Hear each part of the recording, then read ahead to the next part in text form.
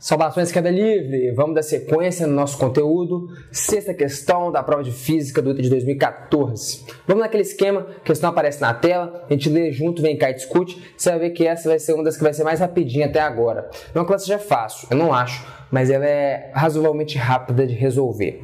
Se liga aí, a figura mostra um interferômetro de Michelson, adaptado para determinar o índice de refração do ar. As características do padrão de interferência dos dois feixes incidentes do anteparo dependem da diferença de fase entre eles. Nesse caso, influenciada pela cápsula contendo ar.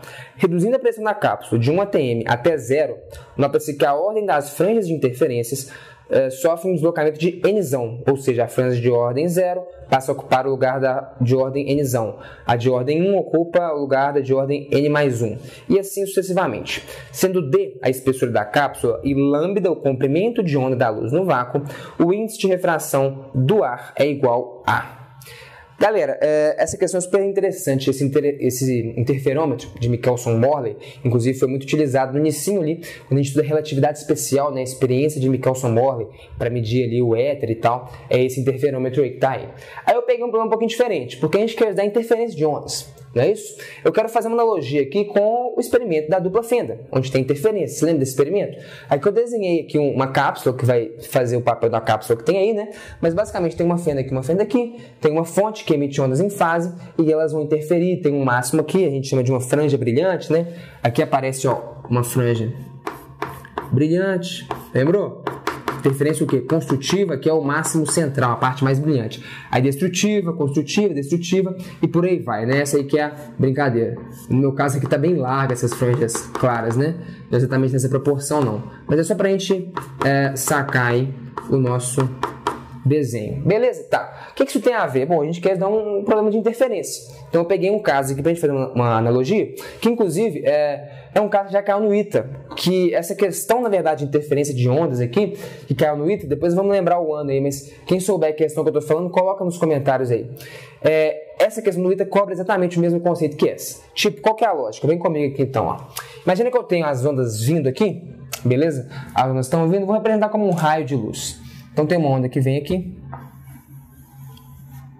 E a outra onda que vem aqui. Fechou?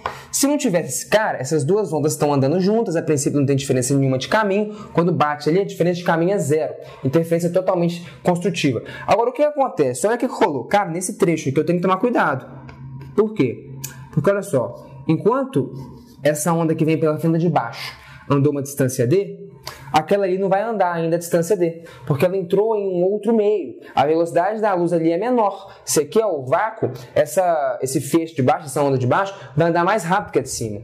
Concorda ou não? Então vai rolar uma defasagem, beleza? Enquanto se eles fossem bater aqui, se não tivesse esse cara, eles iam chegar juntinhos, sem nenhuma diferença de fase, interferência totalmente construtiva. Agora, mesmo nesse ponto aqui, que é o ponto simétrico, vai ter diferença de fase, porque esse cara aqui vai chegar em um tempo que vai ser diferente do que esse cara chega, porque esse cara demora mais para percorrer o caminho. Então, por exemplo, poderia rolar. É, o seguinte, só para a gente começar o problema, pode ser que acontecesse um deslocamento de ordem 1. Então, essa franja, esse máximo, fosse deslocado de uma unidade. Então, a interferência de ordem 0 vira de ordem 1, de ordem 1 vai para o 2, 2 para o 3 e por aí vai. Ele jogou um Nzão, um caso geral.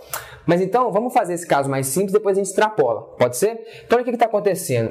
Esse cara aqui, Vou chamar esse cara aqui, ó, esse feixezinho. Feixe 1, esse aqui de feixe 2. Só lembra comigo qual é a definição de índice de refração.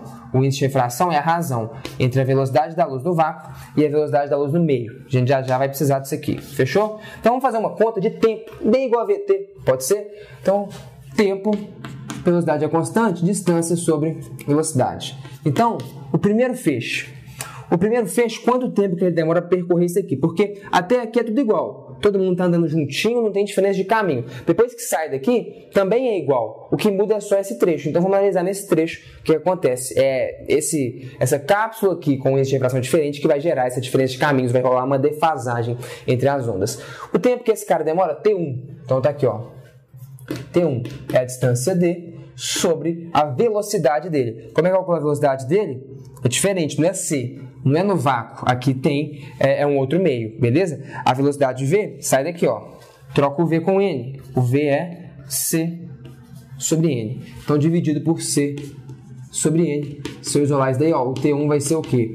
Multiplico pelo inverso, né? ND sobre C. ND sobre C. Fechou, deixa isso quieto aí. Então vamos calcular quanto tempo que esse feixe demora para percorrer a mesma distância. Aqui vai ser até mais fácil. O T2, distância por velocidade. D, qual que é a velocidade dele? C. Ali seria o vácuo, beleza? E aí o que, que eu sei? Pensa comigo. Se eu fizer aqui um ΔT, vem cá, ó. Se eu fizer aqui um ΔT, o tempo maior, beleza? Que seria o T1. Então aqui, ó. ΔT igual a T2, T1 foi mal, menos T2. O T1 seria ND sobre C, ND sobre C, menos D sobre C. Se tivesse acontecido, igual eu falei, o caso mais simples, um deslocamento de uma ordem nas franjas de interferência, beleza? Então o máximo central fica deslocado, de ordem 0 vai para 1, interferência de, construtiva de ordem 1 vai para ordem 2, 2 para 3 e por aí vai. Se rolou um deslocamento, então, de uma ordem, significa que essa diferença de tempos é exatamente de um período. Ou seja, o tempo que esse cara que demora mais para percorrer essa distância é exatamente de um período. Então eu desloco de uma ordem uh, as franjas de interferência. Faz sentido isso aí? Então, se eu tivesse nesse meu caso aí, eu ia falar para vocês o seguinte: eu ia falar que o ΔT, essa diferença de tempos, se fosse um deslocamento de uma ordem nas franjas de interferência, seria de um período. Com aqui, ó, tesão, beleza? De um período. E quanto que vale isso? Tá ali, ó a diferença de, de tempos é aquela expressão, é ND sobre C menos D sobre C. Você entendeu a ideia? A diferença é de um período, então eu desloquei de uma ordem uh, as franjas de interferência, beleza? Aí ah, se tivesse colocado de duas, se o máximo central fosse para uh, eh, interferência de ordem 0, fosse para ordem 2, de 2 para 4 e por aí vai. Então seriam dois períodos essa diferença de tempo. Beleza? Tudo depende desse índice de refração. Dependendo do índice de refração, pode demorar mais ou menos. Beleza? Tudo bem. Como é que fica a minha continha então? Multiplicar por C dos dois lados dessa equação. Então ele vai ficar C vezes T é igual a que vai ficar é, ND menos D. Pode ser? O que é C vezes T? C vezes T D igual a VT. Aqui, ó, isso aqui é um D igual a VT. Velocidade da luz vezes um período, quanto que uma onda vai andar? Se eu pegar a velocidade dela vezes um período, quanto de distância que ela andou? Lambda. Eu não, esse aqui é o V igual a lambda F. Véio. O V igual a lambda F nada mais é do que esse aqui, ó. Você fazer um D igual a VT. Se a onda anda uma distância de um comprimento de onda, com a velocidade C, quanto, vamos deixar V aqui, né? Com a velocidade V, Quanto tempo que ela gasta para andar um cometa de onda? Um período.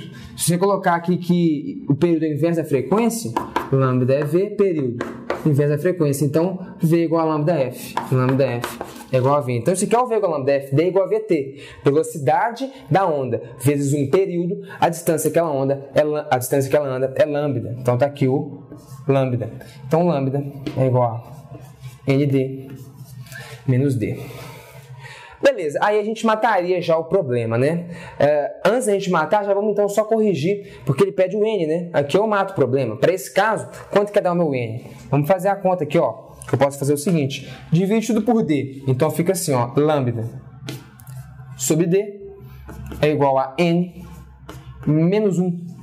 Então é só passar o 1 somando, não é isso? Eu quero o N, né? O índice de refração, o Nzinho. Ia ser lambda sobre D mais 1 lambda sobre D mais 1. Isso aqui seria minha resposta, concorda ou não? Só que aqui foi o caso mais simples que eu falei. É, é um deslocamento das ordens de interferência de uma é, unidade só, né?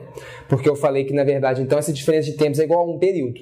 Mas aí a gente já extrapolou. Se fosse de duas unidades, a ordem 2 era 4, 4, 6 e por aí vai. Então são dois períodos. E se fossem nzão, é, o deslocamento de ordem nzão, né? A de ordem 0 vira nzão, de nzão, nzão mais 1, né? E por aí vai. O que está acontecendo? Cara, está acontecendo o seguinte Aqui, a minha diferença de tempos não foi de um período, foi de nzão períodos. Sim ou não? Então é só acrescentar esse termo aqui, ó. Aqui eu vou ter um termo, pum, nzão. Então aqui eu vou ter um termo, nzão. C vezes T continua sendo o quê? Um comprimento de onda. Mas aqui eu vou ter então o quê? Nzão comprimento de ondas. A diferença de caminhos aí agora não foi de um lambda nem de dois, foi de nzão. Beleza? Então continua com esse n aqui. Conclusão, nzão lambda, né? Então aparece esse n aqui, ó. O nzão.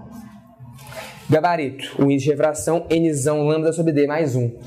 Entendeu a questão? Faça difícil. É difícil, né? É uma questão difícil. Tem que entender bem sobre interferência. Eu acho que extrapolar para um outro caso, diferente do experimento do interferômetro de Michelson Morley, é um pouquinho mais fácil. Aquele desenho às vezes te assusta. Mas o problema é um problema de interferência. O que, que acontece quando eu estou criando uma defasagem entre as ondas? O que, que acontece com a posição das franjas? Como que elas são deslocadas? Essa aqui que é a física que está contida por trás disso. Demorou? Gente, muitíssimo obrigado pela atenção. Ficamos por aqui. Interajam como sempre nos comentários. Nos encontramos na próxima aula. Valeu!